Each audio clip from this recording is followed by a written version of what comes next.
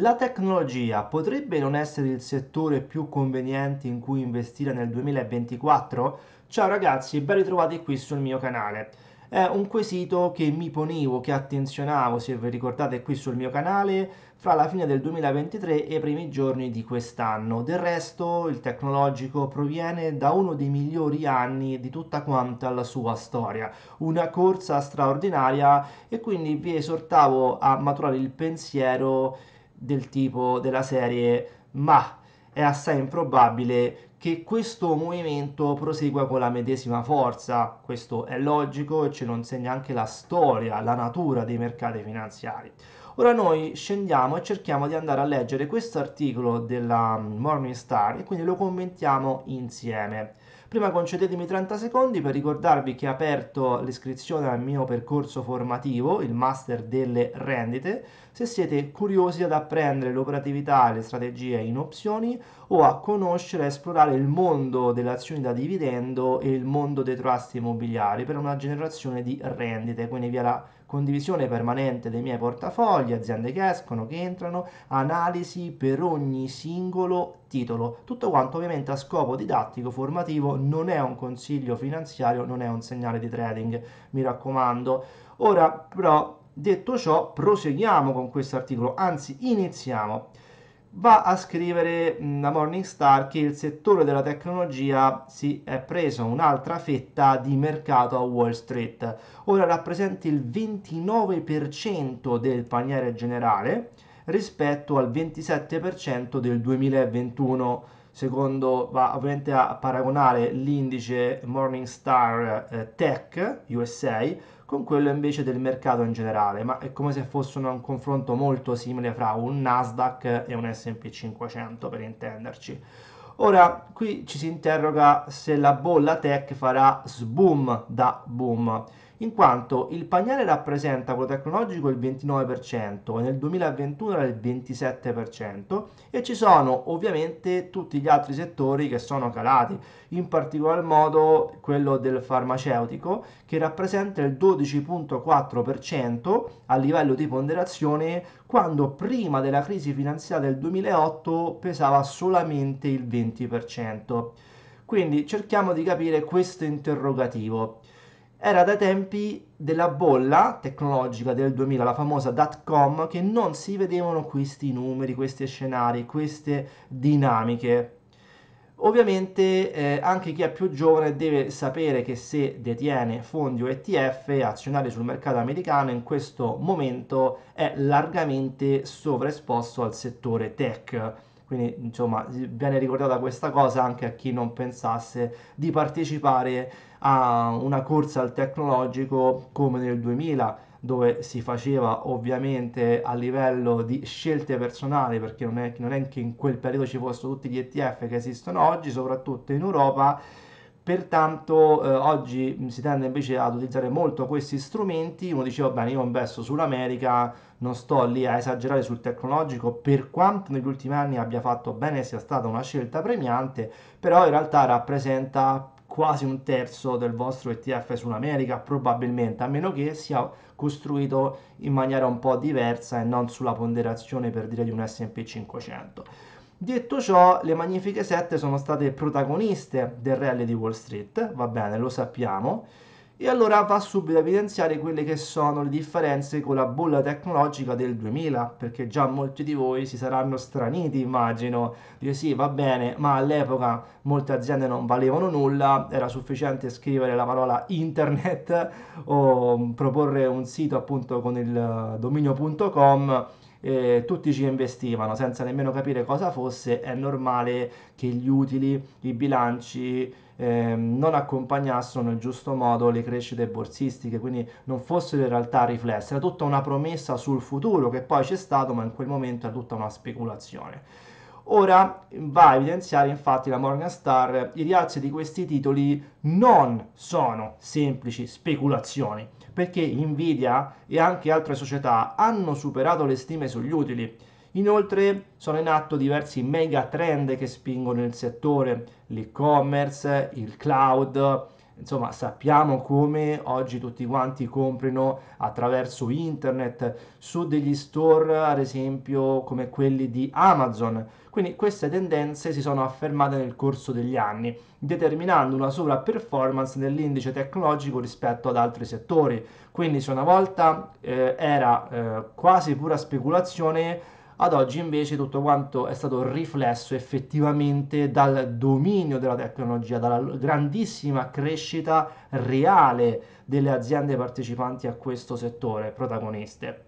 Quindi eh, va a um, dire che il Morningstar USA Technology, eh, Technology Index ha reso il 22% annualizzato nel decennio contro il 13.5% del paniere rappresentativo di Wall Street veramente una performance incredibile. Un 22% analizzato nel decennio significa che ha ottenuto una media superiore a quella che in tutta la sua storia, quindi un lasso di tempo assai superiore rispetto a un decennio, però ha ottenuto ad esempio ha ottenuto Warren Buffett, cioè qui stiamo parlando di crescite annualizzate straordinarie ma anche il 13.5% del paniere rappresentativo di Wall Street, io vi ricordo che sia una crescita straordinaria, cioè l'S&P 500, una volta che si è cominciato a riprendere dalla crisi finanziaria del 2008, ha maturato delle performance veramente notevoli, quindi stiamo viaggiando a delle medie, siamo abituati a delle situazioni superiori alla media e siccome ci sono nuove generazioni che hanno iniziato a investire, io temo che troppe persone possano credere che sia sempre una festa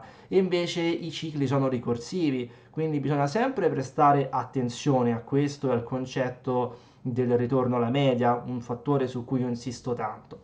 Quindi qui va a evidenziare appunto eh, come eh, vi sia il fenomeno della rotazione settoriale. Dice perché dunque dovremmo pensare che la tecnologia possa smettere di essere una top performer in portafoglio? Del resto eh, continua sempre di più ad essere la protagonista dell'economia reale delle nostre vite. Però un analista ci, fa, eh, ci va a sottolineare come la storia ci insegna che la leadership dei settori va e viene i settori difensivi, ad esempio, hanno subito un cambio di sentiment tra il 2022 e il 2023. Questo universo comprende le società di beni di consumo difensivi, farmaceutici e le utilities, che hanno resistito relativamente bene al tormentato 2022, ma hanno faticato l'anno scorso quando la temuta recessione non si è verificata. Poi che è successo? Che il settore energetico è stato protagonista nel 2022 a seguito della crisi energetica causata dall'invasione russa in Ucraina e dagli squilibri generati dalla pandemia. Per contro poi il comparto cosa ha fatto? Ha avuto rendimenti inferiori all'indice azionario americano nel 2023 e il suo peso sul totale è sceso dal 15% del 2008 al 4.2%. Quindi quello che va a sottolineare è come i singoli settori possono vivere numerosi anni eh, di splendore o di sotto performance e questa eh, situazione è ciclica, è ricorsiva, è naturale nelle economie e nelle borse, quindi vi è una rotazione settoriale. E qual è il problema? Che eh, ci si abitua eh, al fatto che le cose continueranno così come sono oggi ed è un bias cognitivo questo qui.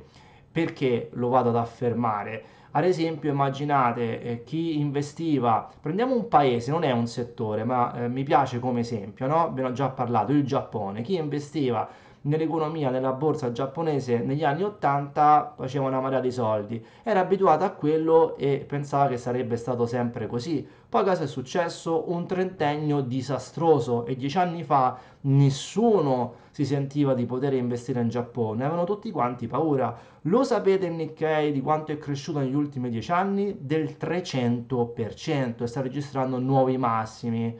Quindi le cose a un certo punto cambiano anche in maniera repentina, forte, cioè nulla dura per sempre. Lo so che in questo momento possa sembrare difficile, come quando provenivamo da anni e anni di rendimenti a zero, ormai le obbligazioni non rendono più nulla, ormai si, si chiedono i prestiti senza interessi. Guardate cosa è successo nell'arco di pochi trimestri, le obbligazioni hanno dei buoni rendimenti e i tassi sono diventati altissimi. Non avevamo più visto eh, l'inflazione, non sappiamo cosa fosse l'inflazione, mentre le, le, nuove generazioni, anche relativamente giovani, nemmeno giovanissime, non conoscevano sul serio l'inflazione. Poi lo scorso anno ce ne siamo accorti che cosa significa l'inflazione. Ora sta rientrando, poi vedremo come andrà a finire questa storia. E quindi si pensa sempre che a un certo punto l'epoca che noi viviamo, perché ci abituiamo a quello, andrà a proseguire nella stessa identica maniera, no? che il futuro faccia necessariamente rima con il nostro presente e con il passato. E invece non è necessariamente così. Allora, in quali settori investire nel 2024? È eh, bella domanda. Diciamo che possiamo andare a vedere quali sono i settori ehm, sicuramente sottovalutati. Quindi Comunque ci dicono che nel breve periodo le performance dei settori può essere determinata da diverse variabili, attenzione nel breve periodo macro e microeconomico e di sentiment. Avete visto quanto io insisto sul sentiment, ragazzi? È molto importante. Non possiamo mai ridurre, soprattutto voglio dire nel breve e nel medio termine, tutto quanto alla pura matematica, all'economia, alla macroeconomia eh, alle dinamiche delle banche centrali, il sentiment, l'umore okay, degli attori in gioco può essere prevalente, ma questo ruolo è fondamentale soltanto nel breve e medio termine. Ora, nel lungo periodo invece le valutazioni contano e come quindi eh, non si è più innamorati di un settore perché non va di moda, è più interessante un altro e va tantissimo di moda e quindi queste mode, questi atteggiamenti possono far proseguire in maniera irragionevole che non riflette davvero al 100% i fondamentali la prosecuzione di un movimento rialzista o ribassista, una situazione di sopravvalutazione o una situazione di depressione, ok? In termini di valutazione. Questo significa, e un settore, poi scrivono loro, può beneficiare di una crescita strutturale, ma se tale crescita si riflette pienamente nei prezzi, i risultati deluderanno le aspettative. Per contro, un settore in difficoltà può sorprendere in positivo se le aziende battono le stime. E qui ci fa vedere effettivamente quali siano i settori eh, depressi. C'è questa, questo grafico, questa slide che ci propongono abbiamo uh, um, con il colore sempre quello che va di più verso il blu come tendenza eh, significa che andiamo incontro a una eh, sottovalutazione ma in termini proprio di, pre, di um, price fair value. Quindi non è soltanto un discorso prezzo utile no no proprio il fair value cioè si cerca di calcolare quello che sarebbe per tutte quante le conoscenze, per tutta la statistica, per i fondamentali, per applicare i propri principi di fattori value, si attribuisce un valore a un settore e quindi price of fair value sul settore. Ecco, più è blu è più sottovalutato, più va verso l'arancione più è sopravvalutato.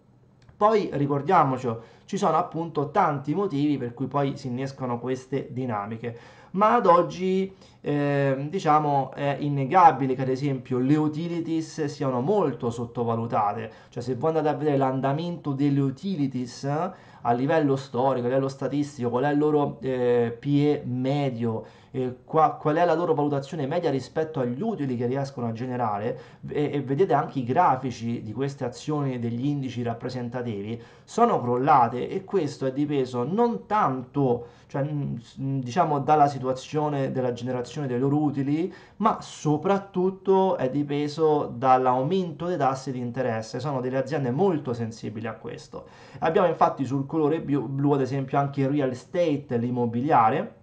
Abbiamo l'energy, il communication services, l'healthcare, insomma ci sono tanti settori, potete andare a vedere in, mani- in maniera autonoma poi il seguente articolo, ragazzi, il titolo è investimenti perché la tecnologia potrebbe non essere il miglior settore nel 2024 e invece fra, la, fra diciamo, i settori sopravvalutati cosa incontriamo? Il tecnologico, il, il consumer cyclical, e l'industrials che comunque è cresciuto tanto. Quindi bisogna sempre sapere che vi è una uh, rotazione. Ci sono anche, ad esempio, degli ETF. Pensate al Capu, ragazzi, o Cape, insomma, all'Ossiam. eh, questo ETF, ehm, andiamo a vederlo insieme. Eccolo qui, lo si chiama Schiller, vedete? Io lo chiamo capo perché è il ticker. E praticamente cosa fa?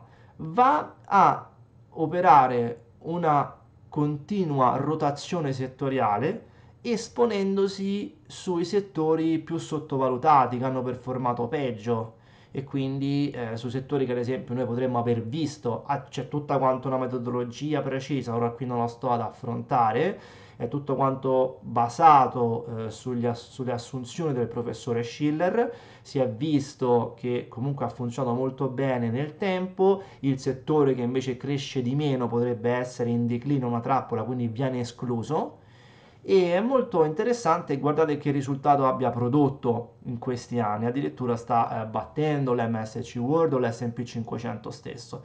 Quindi comunque l'approccio costruito in maniera eh, razionale, eh, scientifica, in questo caso direi addirittura algoritmica, eh, può essere premiante, come vedete, eh, basandosi sui principi della rotazione settoriale, perché si va a investire a un certo punto in quei settori che hanno performato peggio, che sono diciamo più sottovalutati, proprio perché vi è il principio del ritorno alla media, cioè nessun settore se valido rimarrà per sempre sopravvalutato o sottovalutato ed è un approccio molto interessante a riprova che non sia una stupidaggine quello che stiamo leggendo. Ovviamente questi sono discorsi per il contesto attuale, per chi ha tantissimo tempo a disposizione e ritiene giustamente che la tecnologia continuerà ad essere il settore predominante delle nostre vite va bene, eh, lo tiene lì e probabilmente per i prossimi 20-30 anni farà uh, meglio, ma non lo sappiamo, non possiamo esserne assolutissimamente certi,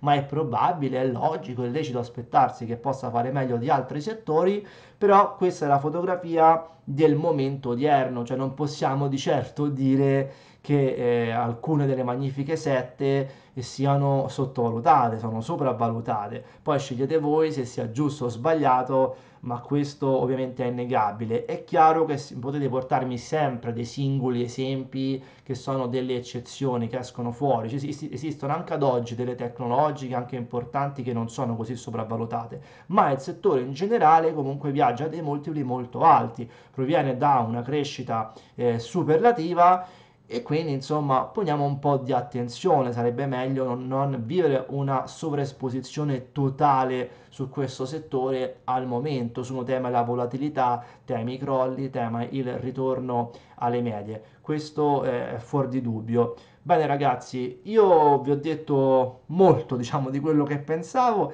poi quando chiuderò il video magari mi verrà in mente qualcosa, mannaggia perché non l'ho detto, fatemi sapere voi nei commenti cosa ne pensate di quello che avete ascoltato e come state decidendo di operare, magari avete un ETF super diversificato mondiale e non ve ne importa assolutissimamente nulla, si adeguerà in maniera autonoma seguendo i settori nella storia futura io vi do appuntamento a prestissimo, lasciate un bel like, iscrivetevi al canale ragazzi se volete sostenermi perché molti di voi guardano il mio canale ma non si iscrivono. Io vi do appuntamento a prestissimo, nel frattempo vi auguro il meglio nella vita e negli investimenti. Ciao!